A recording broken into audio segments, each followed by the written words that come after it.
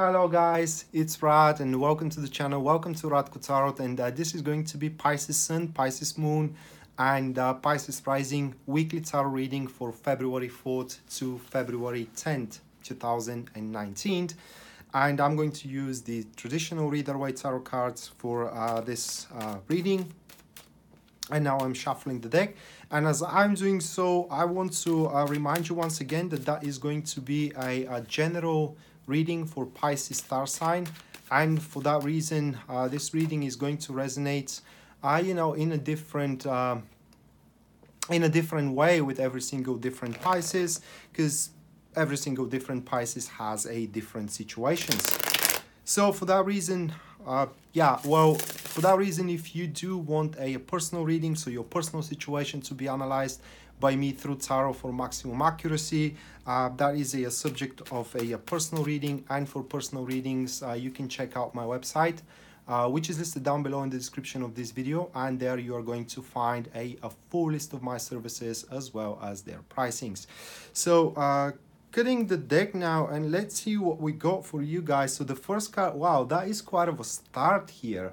And the, the first card that is going to be the six of wands which is the topic of your week followed by the second card, which is the uh, bad approach that you can take or the things you can do in order uh, things you can do that can slow down your process or completely deteriorate it. This is the uh, King of Pentacles then the next one it is the positive approach toward the situation or how you can speed up capitalize on and maximize uh, your growth here throughout the week. That is going to be the page of cups. And the last one uh, it is the final outcome or should you uh, follow the guidance of the tarot from those couple of guidance from the tarot from those couple of cards then this is what happens here a card of growth the final one is always a card of growth should you follow the guidance so uh, the very practical interpretation here is, is the long awaited help is finally to arrive for you guys. That is the most practical interpretation of those cards that I drew, but we are also to go with the completely general one. So this is going to be, from the overview, a, a very positive week. Not just productive but positive for you with the six of wands here. Uh, it does look like that you are going to be uh, recognized and also you will uh, receive uh, rewards for your labor. Because the six of wands itself is about reaching a milestone it is about uh, some efforts of your in the past are now finally being consolidated and they are to give results. Six of Wands is about this um, peak of experience, positive peak of positive experience you're going to have into your endeavors, either career-wise or either relationship-wise. This is, as I said, a recognition a, a praising of one's personality and also an, an opportunity one to present themselves just as one is that is very very important and with this card it is that you throughout the week you will be given an opportunity to present yourself as capable either career wise or relationship wise now the thing with the six of uh, wands however is that the grand achievement or the very end goal it's far from done. And if this uh, or it is far from uh, being uh, grasped. And uh, if throughout this week you get everything you wanted in this specific field in your life well the appearance of that card means that you can achieve so much more in it. It is just you need to maintain the good performance. You need to maintain the communication, for example, or whatever it makes your endeavor ticking, whatever it makes your endeavor growing. This is what you need to do. So, yeah, it's going to be an exhilarating week, all right? It's going to be a, a very positive week, career and relationship wise, but you should not stop there, but rather proceed on forward with what you are doing because you are doing it right the card that accompanies the six of uh, wands this is going to be the eight of uh, pentacles. And uh, the eight of pentacles here it does point that you are way uh, or kind of like you may take the things way too seriously and uh, uh, kind of like seek problems where the problems are not existing all right so it kind of like it asks you to be more like uh, more uh, objective is the word that i'm searching but more like calm and and and analytical when it comes to uh, scoping predicaments when it comes to uh, scoping problems that needs to be overcome only generally furthering one one's growth because with with this combination uh, because you know you are going to reach that milestone you will have your conquest and so on and so forth. The fear of losing it is is going to be something very real. And for that reason you know you may want to be or you will be prone to be more meticulous than usual or more meticulous than it needs to. And what that leads to is you constantly thinking over what you should do instead of actually doing it. And that will kind of make you miss a uh, a moment of opportunity really. It's going to make you miss a, um, a kind of like uh, the right timing of you to exert your skills, to exert your approach, to approach the person you want to be with, to uh, or to do what it is required to sustain your relationship or to improve your relationship. We are not talking here about sustainability. We're talking about improvement. So it's going to be a breakthrough. It's going to be an, an improvement. But you also need to um, need to put your contribution uh, in it. The second card that we do have, this is the bad and the negative approach that you can take. King of Pentacles points that this achievement of yours, this breakthrough of yours, this milestone of yours is going to sedate you, is going to, um, well, we do have an expression in our country being um, opiated by it, means that you become in uh, in a severe states of a, a, a euphoria or euphoria okay? And uh, basically you take on this thing as granted and uh, completely you are missing the point that it has to be proceeded forth instead of being stuck into that place into this milestone. And as it is a milestone you know uh, from now on you can only just grow. You you cannot basically go below this um, this line of the milestone itself.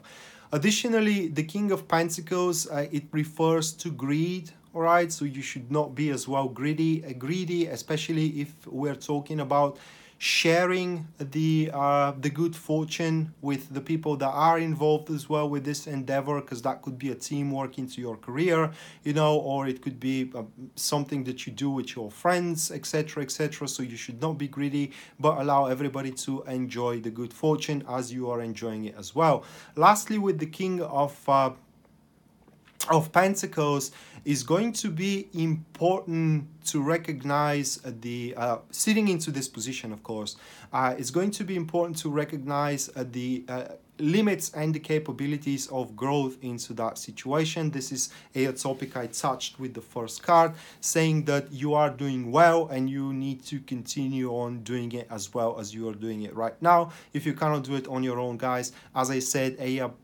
long waited help is going to come around at your disposal that will help you actually overcome the setbacks or the wall that you are banging against in case you are facing such uh, such a predicament. And uh, accompanied card with the uh, king of pentacles here.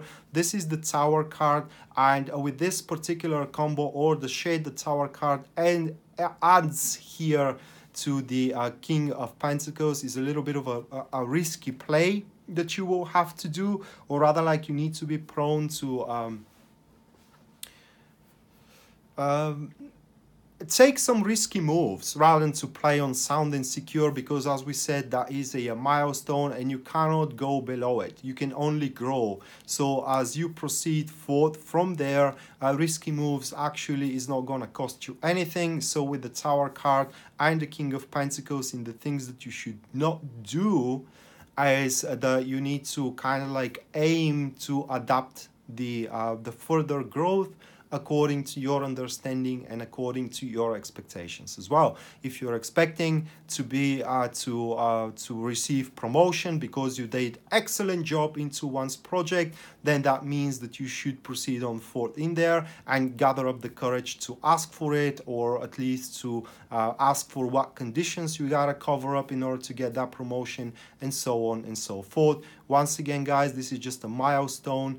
Uh, pretty big one, but yet the final goal is yet to be reached, or the maximum potential of your enterprise is yet to be discovered. And that leads us to the next card here, which is the Page of Cups. And that is the positive approach that you can take toward the situation or the positive actions that you can do and the page of uh, the page of cups tells us one thing. It tells us that a the change that you are expecting to happen in your life either career or relationship wise it's now looming on the horizon as a uh, as it has now the foundation of the six of uh, of the six of wands which is the recognition the prize and as well you know the capability of yourself to present just as you are so the change is looming here right? And what you need to do is to instead of being uh, stuck in the irrit- irritating minor details you got to more attend to the overview of the situation. That is one thing. Second you uh, in order to do so you have to also make a, a crucial self-examination and to assess assessment of, of one's position as well. The page of cups in a most generic interpretation is all about being wise and intelligent enough to recognize that if you want a change, you also need to change with it all right? And that's why you got to um, make it a crucial and critical in some cases with you Pisces self-examination uh, assessment of one positions and readopt those examinations or, or readopt yourself and your positions according to the uh, assessment that you are going to give to yourself to your work to the people that you are with and to the situation itself. And lastly with the page of cups the page is uh, feeling very despondent and poignant when it's not emotionally attached, when it's not emotionally connected. That's why, uh, whatever your endeavor is, regardless is it going to be a career or relationship wise, you need to feel the emotional attachment of what you're doing. Otherwise, uh, as you go forth with uh, with that endeavor, if you don't feel that emotional attachment, this thing of yours that you are trying to develop here or that you will have the opportunity to develop will start losing meaning. It, it will start making less and less sense for you to a point where basically you will kind of like scratching your head thinking well guys why why am i doing this? You know it's what is in for what is in it for me. And that's why it will be crucial that you do have the emotional attachment either with your project or with your career or with whatever you are doing career or relationship wise it doesn't matter because this is what is going to give you uh, determination. This is what is going to allow you to make the necessary readoption of positions as the change comes around and you take on that change as changing yourself as well. And the card accompanying the page of uh, the page of cups this is uh, the uh, devil card. And we do have passive friends. So how the devil card contributes into this it adds a shade of a, a kind of like a what was the word here guys?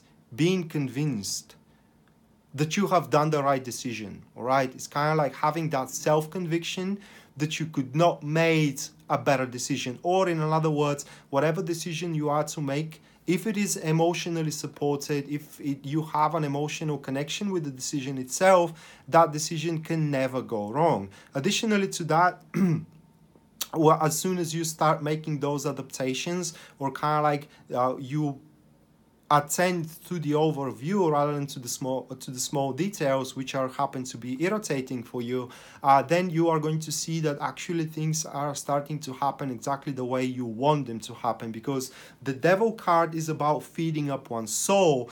And uh, as a matter of fact when it comes to this uh, composition here with the page it does mean that uh, you will have the capability as you are uh, as you are changing with the looming change itself yourself, you will be able to feed your hunger. And that hunger could be a hunger for love, that could be a hunger for uh, for wealth as well, that could be a, hunger for a, a, a career realization, and etc. etc and uh, therefore uh, throughout the process of you changing with the change your hunger uh, you is going to be fed up and uh, or is going to be fed. And therefore you need to ask yourself right now in this very moment what is my hunger? What i do lack in my life and i want to fulfill it? What makes me feel unfulfilled and I want to achieve it? And it is exactly where the change is going to come from. It is exactly where that looming change is going to take place